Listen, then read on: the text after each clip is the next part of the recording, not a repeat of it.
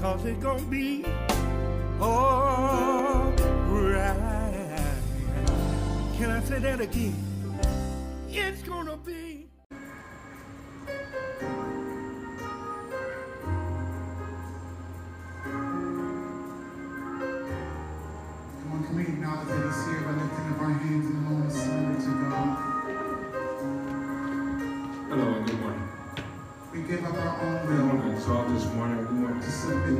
Get in the presence and we want to just thank God this morning.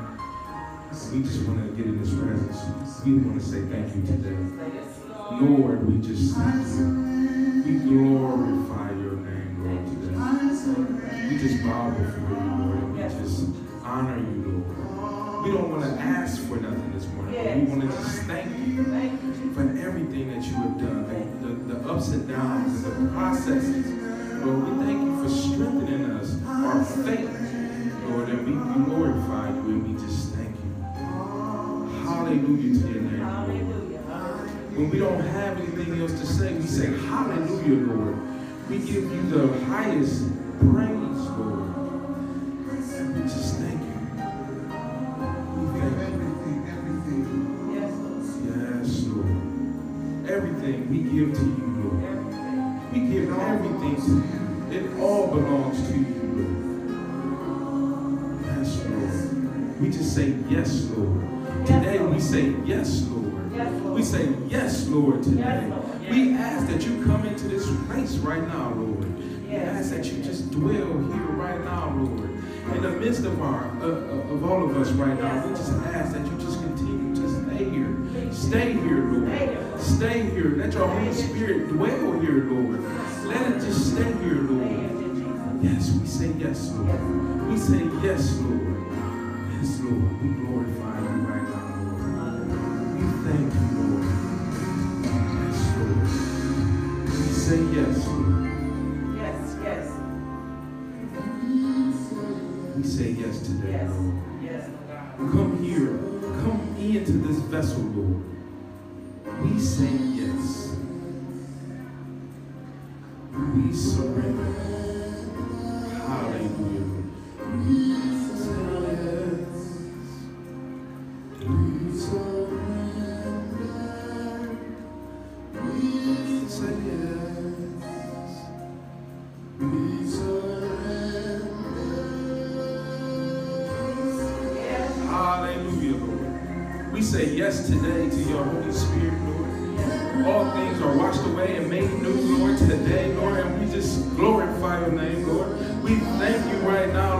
On our knees and bow before you, Lord, right now.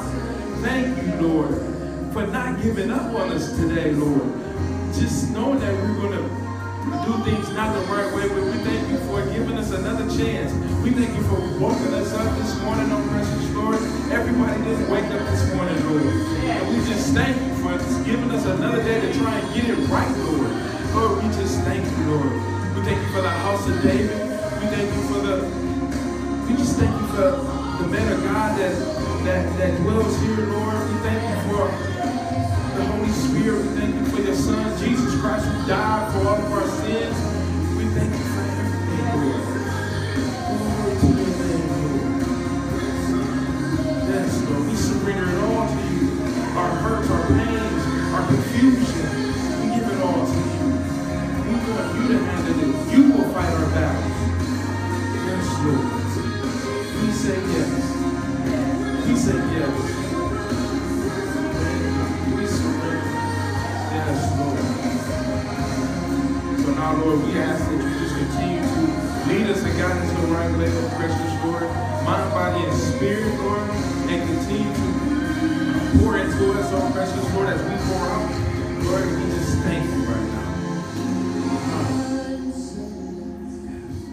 It personal.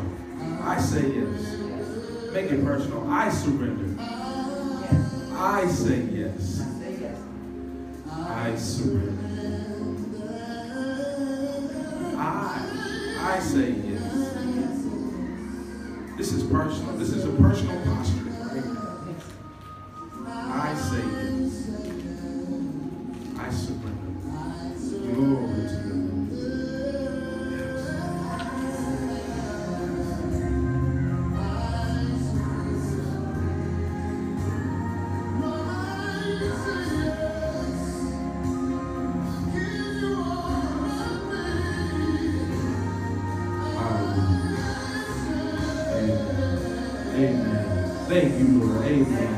Amen. Amen. Thank you, Lord. Thank you. Thank you.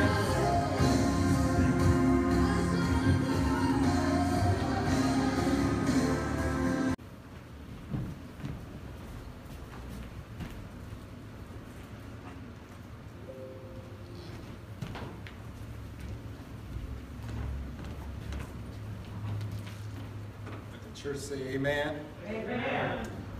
Let the church say amen again. Amen. Church say amen again. Amen. Amen, amen, amen. Give me a little of that song. Amen. The victory song. Amen. Amen.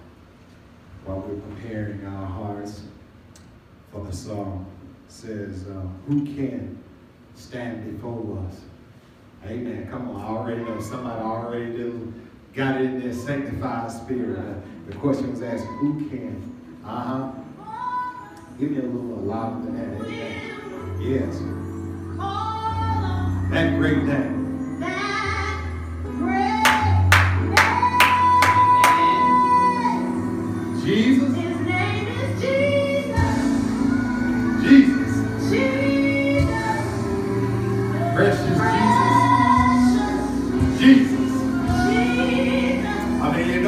The victory.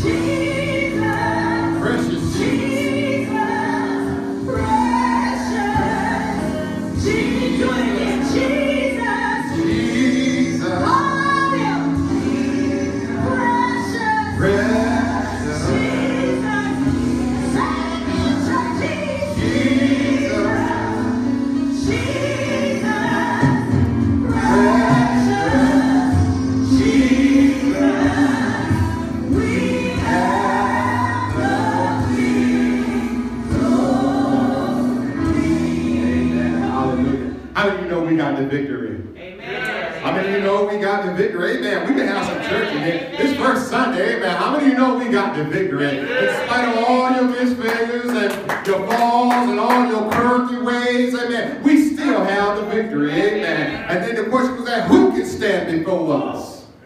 Uh-huh. Who can stand Jesus, thank you. before us? Amen. We come to the name of Jesus. Amen. Amen. Hallelujah. We thank God for you in this place today, and we thank God for this first Sunday. Amen. As we begin to go into this holy season. Amen. Amen. Uh, a season that we'll never forget. Amen. The, the birth of our Savior, our Lord and our Savior. Amen. As we come close to the day that turned the whole world around. Amen. And gave us a hope and a purpose and a desire to keep on living. Amen. And so today we say thank you. And, and as we, we get to the place of, of Thanksgiving, we know it's not about Santa Claus. Amen. We know it's not about the gift giving, but it's about the one who gave us life. Amen. And so I'm excited about it. Amen. I promise you I won't be with you long. And you just bear with me for a few moments and, and let us have a word of prayer. Father, we thank you this day. We thank you for the time which you have uh, afforded us today to come and worship today on corporate worship, God, in spite of how we may come together, whether it's via live or, or there's just a few gathering. And it doesn't take many to God because you said, well, there are two or more touching and agree, God, that you'll be in the midst. And so, Father, now I ask that you would just decrease me now, God, and speak to your people. It is in Jesus' name we pray. Thank God and amen. Amen. If you would go with me to the book of Matthew, amen. Beginning um, at the 27th chapter. And I'll start at the 45th verse, and there you'll find recorded. I will not be reading from the King James Version this morning. Amen. I found it uh, most appropriate to read from the NIV. Amen. And so there you'll find me in Matthew 27, beginning at the 45th verse. In the NIV, it says, This is the death of Jesus. Amen. Um, from noon to three in the uh, afternoon, darkness covered all the land about three in the afternoon, Jesus cried out in a loud voice and said, Eli, Eli, lama sabachthani, which means, my God, my God, why have you forsaken me? And when some of those standing there heard this, they said, He is calling Elijah. Immediately one of them ran and got a sponge and he filled it with wine vinegar, amen, to put it on a staff and offered it to Jesus to drink. The rest said, Leave him alone. Uh, let's see if Elijah come to save him. And then when Jesus had cried out again in a loud voice, he gave up his ghost. Amen. I'll stop there. And my topic is very simple. Uh, it is the fall guy. Amen. Amen. Look your neighbor tell your neighbor the fall guy. Amen. It's, it's kind of hard to preach when you ain't got but a few. Amen. But we're going to shift gears this morning. Amen. I'm excited about the fall guy. Amen. I remember uh, there was uh, in the corporate world, uh, you got to know that uh, there's always a fall guy. Amen. But somebody's always got to take the rep. Amen. And even though it's a corporate decision uh, or the corporation has made a bad choice, but there has got to be a fall guy. Amen. And so when we think about how this thing came together with, with sin and, and the purpose that God had for his people, there had to be a fall guy. Amen. And so Jesus said to, uh, to the Father, he said that to, to prepare me a body, I'll be your fall guy. And that should shout you right there to know that there was somebody willing to pay. Amen. Amen. Hey, he says that here we are. He, as he was taking the whips, he was saying simply that everything now that they bruised my hands. He says that Isaiah simply said, but we were wounded for our transgression, and he was bruised for our iniquities, and, and the chastisement of peace was upon him. And with his stripes we are healed. And every lash he took, even on his hand, he was simply saying, now everything that you touch, amen, that it will be blessed. Put the nails in his hand, he said, everything that you touch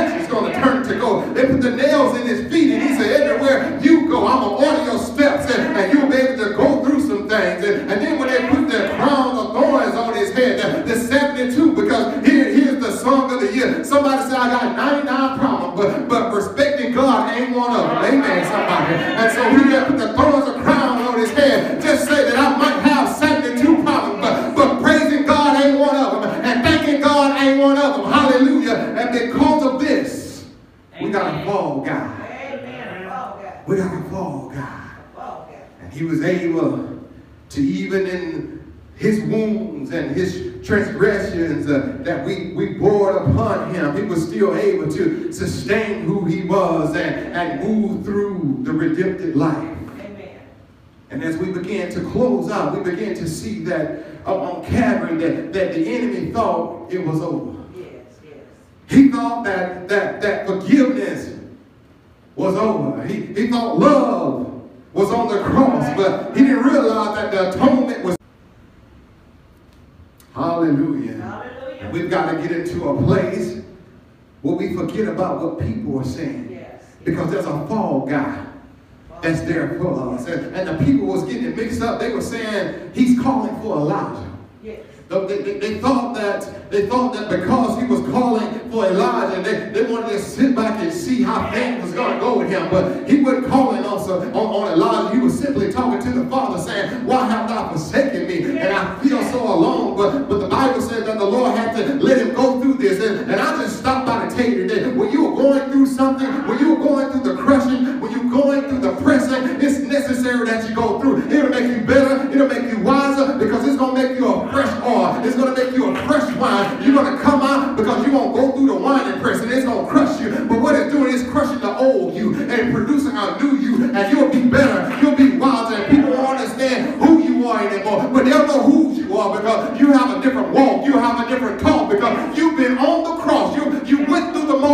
and, and now you are virtuous. Amen. Amen. I'm grateful that we had a fall guy.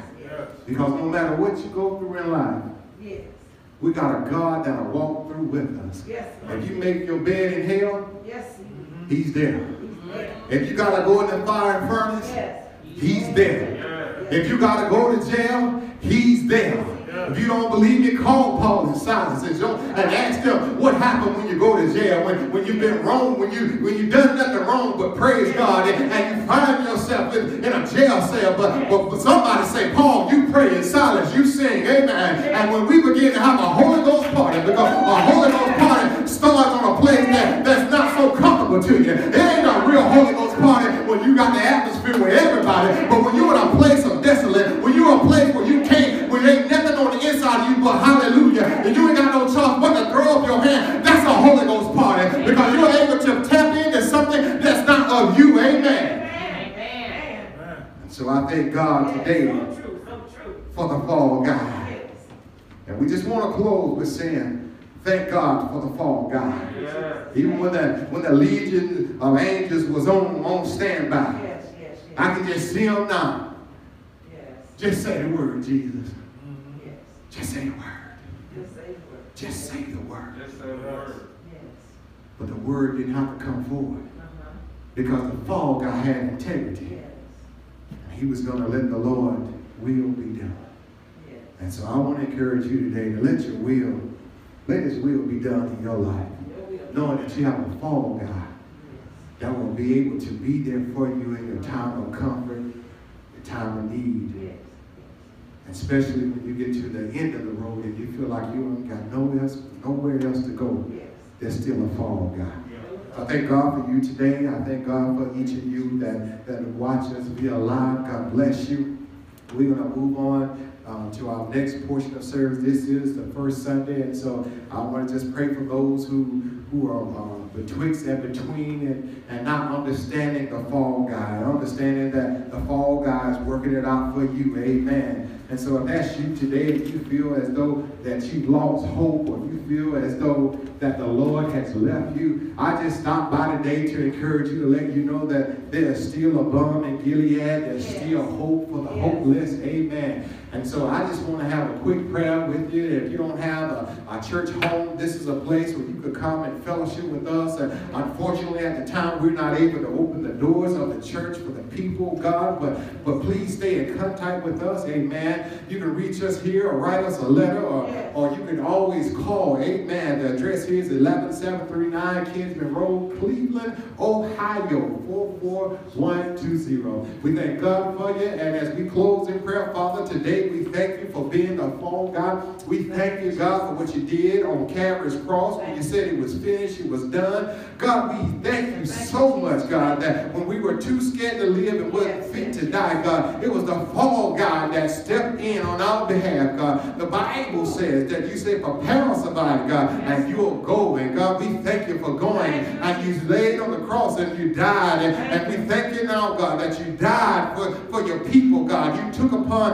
our sins, God. And so, Father, we thank you for what you've done. We thank you for what you're doing now. And it's in Jesus' name we pray. Thank God and amen. Amen. Amen. amen. At this portion of the service, we will go into our communion service. We would ask that you have your communion with you. Amen. As we move forward with our portion of the communion. Welcome to the communion table. First, we look back. We are to participate in the communion in the remembrance of Jesus Christ. Though we must be reverent and must be appreciative of the communion symbolized. The communion also speaks of intimacy and fellowship. So we look back, we look back at the cross. We remember what Christ accomplished for us and we remember his love for us. Secondly, we look ahead. The scriptures say to do this until he comes again. 1 Corinthians 11, verse 23. The first thing, the first time Jesus came to this earth, he came as a suffering savior. The next time, he will come as a conquering king. The communion is an observation to remind us that Jesus will come again. Thirdly, the communion is a time where we look in. We look, we are to look in and ask the Holy Spirit to show us any areas of our life that may not be pleasing to God. Once we acknowledge these errors, we are to repent of all these sins. To fail to do so and then take part in the communion is to eat and drink damnation unto yourself, as in the King James Version reveals, or it is to eat and drink, not honoring the body of Christ. Amen. 1 Corinthians 11, and it reads verses 23 to 23 through 26. For I received from the Lord what I also delivered to you, that the Lord Jesus, on the night when he was betrayed, took bread, and when he had given thanks, he broke it and said, This is my body, which is for you. Do this in remembrance of me. In the same way also took the cup after supper, saying, This cup is the new covenant in my blood. Do this as often as you drink it in remembrance of me. For as often as you eat this bread and drink this cup, you proclaim the Lord's death until he returns. 1 Corinthians 11 through 27. So then, whoever eats the bread or drinks the cup of the Lord in an unworthy manner will be guilty of sinning against the body and the blood of the Lord. Let us pray. Father God, we come to you, Lord, giving you thanks, Father, for the communion, for your sacrifice, God, one that you did not have to make, but you made willingly, God. So, Father, I ask that you search each one of our hearts, each one of our minds, God. If there's anything that would be unpleasing to you, God, we ask for your forgiveness. Lord, we ask that we take this, Lord, in a pleasing manner. And Lord, we ask that you just forgive us for all of our sins, God, known and unknown. We ask for your protection. We ask for your love. We ask for your grace. And we thank you for all that you've given us. In Jesus' name, amen. Amen. Amen. And that night they were all together. And Jesus took the bread and he blessed it. He broke it. And He said, This is my body. Amen. That was broken for you. He blessed it and said, Eat. And they did all eat. Likewise, he took the cup. He said, This is the cup of blood that was poured out and shed it for you. He blessed it and said, Drink. And they did all drink. I know it was the blood. I know it was the blood. I know it was the blood for me. One day when I was lost, He died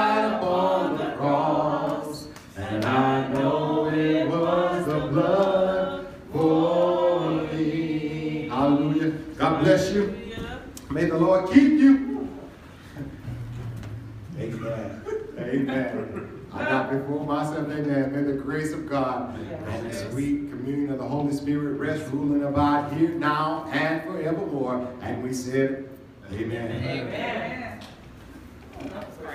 Where's he going? Cause it's gonna be